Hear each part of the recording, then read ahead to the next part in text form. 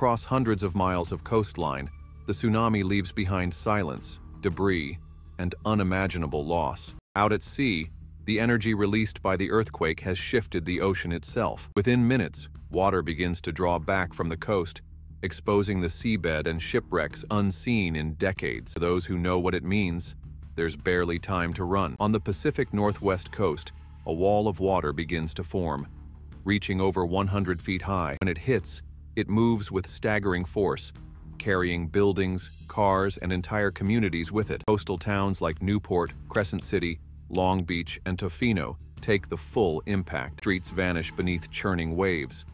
Wooden homes are shattered. Concrete structures are torn from their foundations. Entire neighborhoods are gone in minutes. Naval bases and industrial ports. The destruction continues. Ships are ripped from moorings and thrown inland. Oil storage tanks rupture. Fires ignite. Infrastructure built to withstand storms is no match for this force. Across hundreds of miles of coastline, the tsunami leaves behind silence, debris, and unimaginable loss.